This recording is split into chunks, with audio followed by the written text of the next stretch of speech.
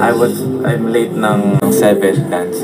Lord Peterson, pare ko si Jello. Thank you, pare kicks pala. Zarina, hello. So, nakagising ako mga 1. Yeah. Tita Sam, Faith Rin. Thank you. So, nung pagkagising ko, doon ako nag-post agad nung sa, yung sa H&M ko sa ano, Instagram. Kamusta yun? Ay, Raho, kamusta? Thank you sa super halo-halo. Nag-upgrade ah, di lang halo-halo. May pa-super. Thank you, Lynn, Faith Rin. Thank you po. Aking Marian, Benjo the Pogi. Wow. Connie Asayas, Jala Saves. Derek Connie, Jala Saves. Dami daw school works, working, exam week, resting from work. Medyo pagod. Oo, okay lang yan. Isipin nyo, thank you Jay, Lynn, um, pare-pares tayo ano, napapagod din some point sa araw. It means, you're doing a good job kasi pagod ka. Kaya mo yan. Kaya niya yan. Hindi rin daw alam. X Marky, thank you po. Cams, Konya Sayas. Thank you sa mga nagsend din ng mga ano, mayroon ng mga campaign stickers. 2 plus 2. 4.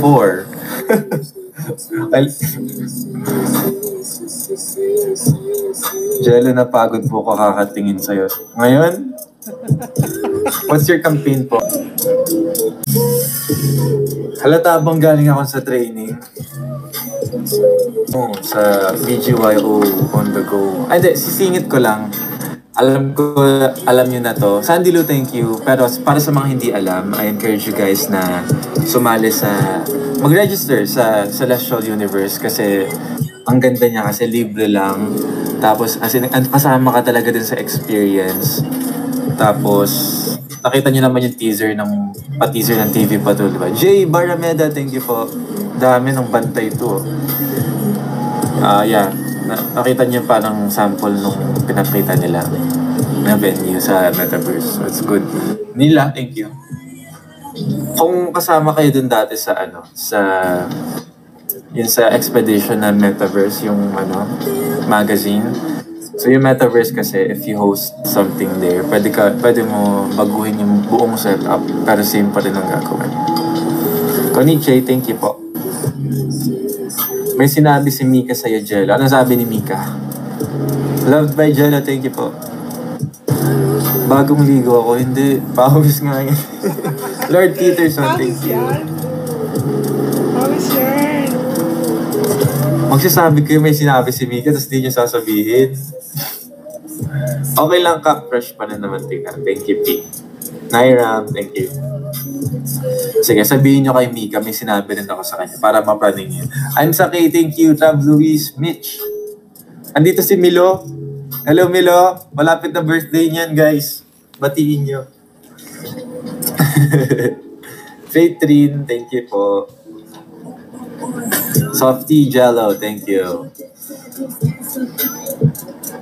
Jello saves. Zaza Rivera. Thank you, Zaza Padilla. Trav Luis, Jello saves. Cams, Mystic Girl L. Ang dami ko nakikitang mga ano ha. Mga na, nakikita ko ulit after a long time. Ano. Medyo mahirap. Gets namin yun. Di ba ang hirap kaya sumayaw ng wala- walang gas eh? Yeah, hindi yun spoil. Yeah. Di lang ikaw yung magpe-perform. Parang for me, maano na siya. Ma malapit na. Parang no time to ano na. Milo everyday, salamat. Milo, nood ka concert ha. Jello love of my life, salamat. Kumain na ba ako? Hindi pa. Pero pwede niya naman ako samahan mamaya. Yes, go Raho. See you there. Bakit wala pa announcement? Oo nga eh. Pero I asked Miss MQ about that. A-announce na rin naman soon. So, wait na lang kayo dyan. Kap yung i-release ba this Thursday ng Bini yung favorite mong song nila? No. Pero maganda yung song na yun. Pero hindi ko siya favorite. Pero maganda yung song. Maganda yung song. Walang pa kasi Mika. yeah, for the surprise. Hello po, Ate. Kasi diba late yung ano na. Tapos, di ata ako nakapag-dinner ng maayos kahapon. Tapos, nagutom ako around 11 p.m.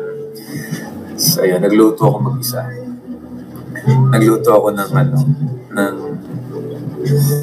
fried rice. Yung final product niya, hindi ko na kasi siya pinlate ng maayos. Um, mukha siyang cat food. Pero masarap as in sobra.